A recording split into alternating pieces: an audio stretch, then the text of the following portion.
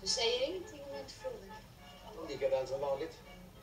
Max låtsas inte om min vänskap med hans fru. Då och då lånar han pengar av mig. Mycket civiliserat.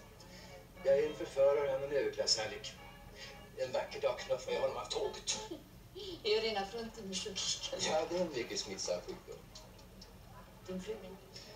Hon är inblandad också. Jag har ju att vägrat veta allt. Det är ju verkligen skillnaden.